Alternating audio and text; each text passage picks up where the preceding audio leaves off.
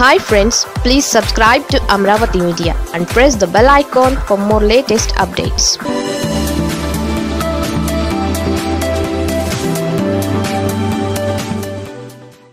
YCP గెలిచినా okay కానీ తిరుపతిపై చంద్రబాబు కొత్త టార్గెట్.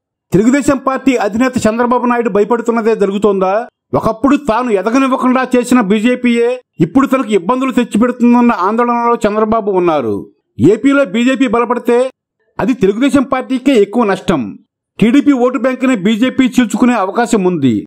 అందుకే చంద్రబాబు నాయుడుకు ఇప్పుడు రెండు సవాళ్ళు ఉన్నాయి.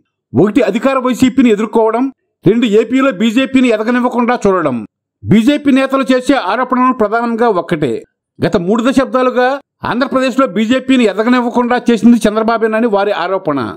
తనకు అవసరం వచ్చినప్పుడల్లా తమతో పొత్తు పెట్టుకుని ఆ తర్వాత తెంచుకోవడం చంద్రబాబుకు అలవాటు అని బీజేపీ నేతలు నిత్యం విమర్శిస్తారు.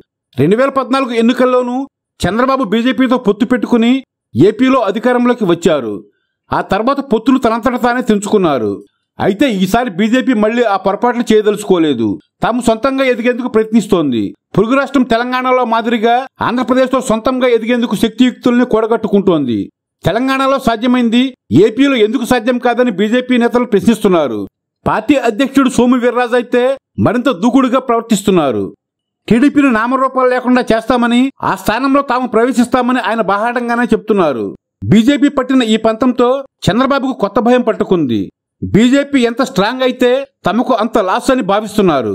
అందుకే బీజేపీ బలపడకుండా చూడాలని ప్రతి నియోజకవర్గ నేతలకు చంద్రబాబు నూరిపోస్తున్నారు. తిరుపతి ఉప ఎన్నికల్లోనూ బీజేపీకి డిపాజిట్లు రాకుండా చేయగలిగితే చాలట. తాము ఓడిపోయినా పర్వాలేదు. బీజేపీకి అక్కడ ఏమీ లేదని చెప్పడమే చంద్రబాబు ముందున్న ప్రధాన కార్యాచరణ ప్రణాళిక అంటున్నారు.